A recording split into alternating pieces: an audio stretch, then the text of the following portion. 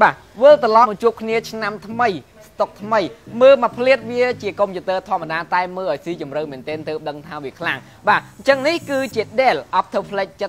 7440ដែលជាប្រភេទកុំព្យូទ័រដែលបងប្អូនឃើញបាទអេក្រង់របស់វាធំហើយមើលបាទ ពីវីដេអូនេះគឺឃើញថាត្រជាក់ភ្នែកមែនទែនជាមួយនឹងក្រង់របស់វាគឺជាលក្ខណៈ Full HD 18គុណជាមួយនឹង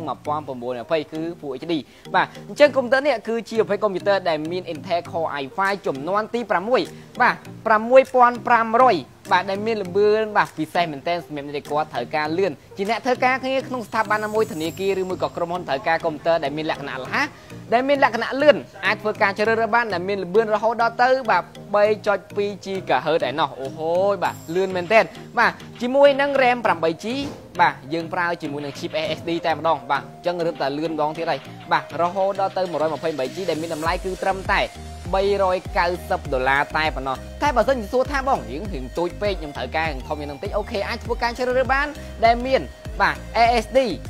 256G ដែលយើងធ្វើការបាទផ្ដល់ជូននៅតម្លៃពិសេសត្រឹមតែ3សុំទោសបាទ439ដុល្លារតែប៉ុណ្ណោះ439ដុល្លារអាចទទួលបាននៅប្រភេទ chip ASD